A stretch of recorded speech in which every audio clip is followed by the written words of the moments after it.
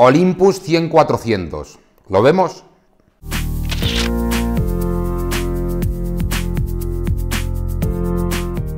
Pues no sé vosotros, pero yo de luego tenía muchas ganas de, verlo, porque realmente es una de las ópticas que ya veníamos conociendo un tiempo atrás y que de luego viene un poco a complementar la fantástica gama de cristales y de objetivos del sistema micro tercio. Y aunque sí que es cierto que esta distancia focal la conocíamos eh, por otra marca, Panasonic ya tenía un 100-400, de hecho muchos usuarios Quizá Olympus, em, por el tipo de distancia focal, la cual es súper versátil y demás, pues habían comprado esta opción de Panasonic para sus cámaras Olympus, pero creo que eh, no deja de ser bastante interesante, sobre todo por el tema de estabilización que ahora os explicaré enseguida.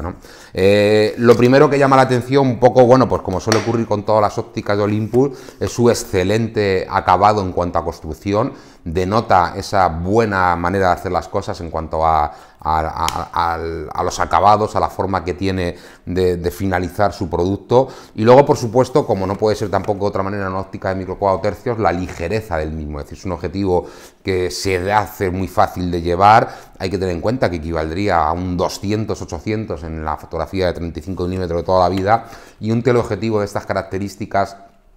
cogerlo con una sola mano y con esta ligereza hace que sea una auténtica gozada. Eh, de hecho, bueno, me habéis oído hablar en los últimos vídeos, en los directos que hemos hecho con la marca Olympus, eh, pues de la gran ventaja que tiene o que significa eh, este tipo de, equipos tan livianos y que, bueno, pues se ha convertido un poco en el rey de la foto de naturaleza. Olympus en general, o bueno, Olympus en particular, en general todo el sistema micro tercio, y quizás sea por cosas como esta, ¿no? Que son objetivos muy bien pensados, muy pequeñitos y que se pueden transportar de manera muy fácil. He querido, traer la M1, la cámara tope de gama de M1 Mark III, me refiero, la cámara tope de gama del fabricante, la,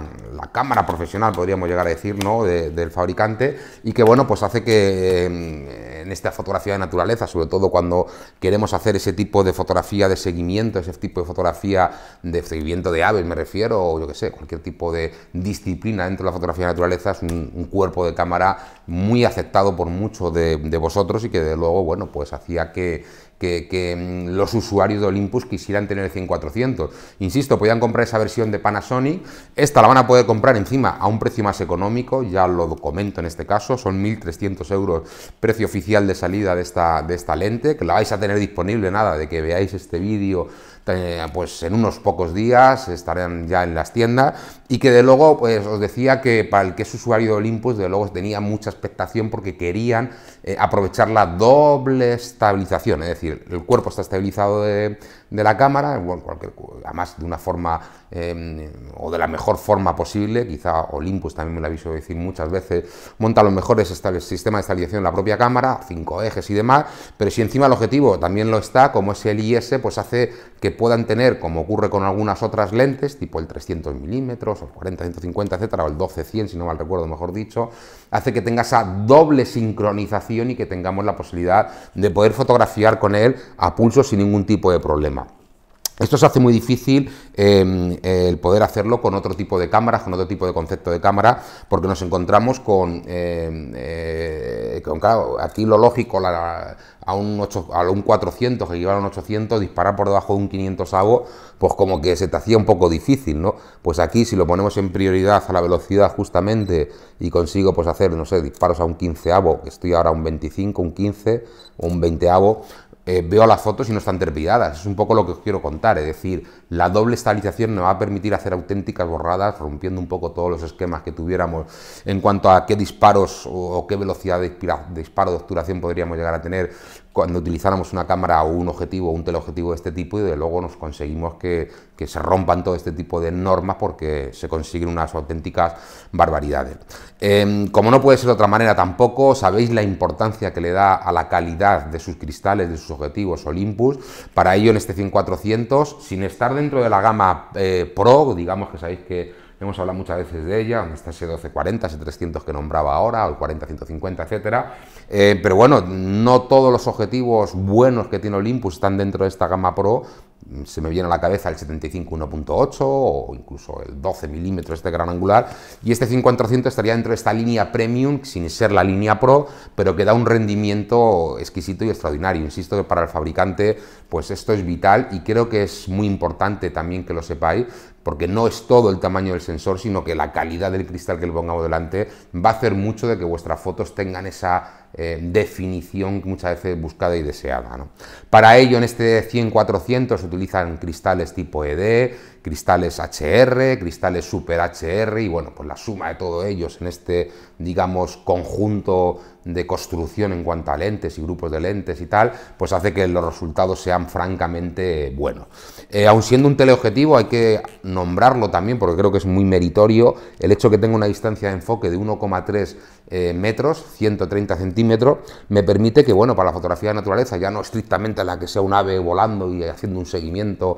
con el maravilloso sistema AF de seguimiento que tienen estas cámaras de última generación, pero vais a poder hacer fotografías macro, pues de alguna manera relativamente buena. El grado de magnificación es de 0,3, estamos hablando de un grado de magnificación pues bastante interesante y bueno, para sacar la típica mariposa que se posa ahí en una planta, una flor, pues vais a poder hacerlo de una manera muy cómoda además, ¿no? Estando en una posición erguida de pie y vais a poder hacer sin molestar un poco al bicho pues eh, la fotografía sin ningún tipo de problema. Compatible, como no puede ser de otra manera, con los tele teleconverter o los MC14, el MC20, teleconvertidor 1,4 por y el, el 2 por. En el caso del 2 por, si lo ponemos, equivaldría a un 800 o lo que es lo mismo un 1600 en el sistema de 35 milímetros convencional, con lo cual estamos hablando de, de, una distancia focal enorme y bueno, pues para que también la fotografía deportiva en un momento donde necesitemos este tipo de distancia focal tan larga, pues vais a poder utilizarlo sin ningún tipo de problema. Incorpora, como habéis visto, que no lo hemos, lo hemos sacado, pues este parasol,